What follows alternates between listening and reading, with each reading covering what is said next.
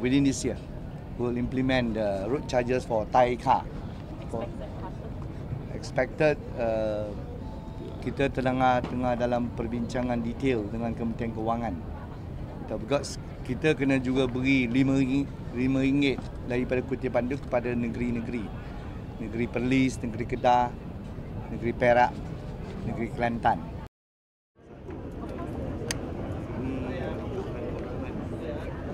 JPJ ada perkhidmatan sangat kita akan terus tingkatkan itu. Contohnya sekarang kita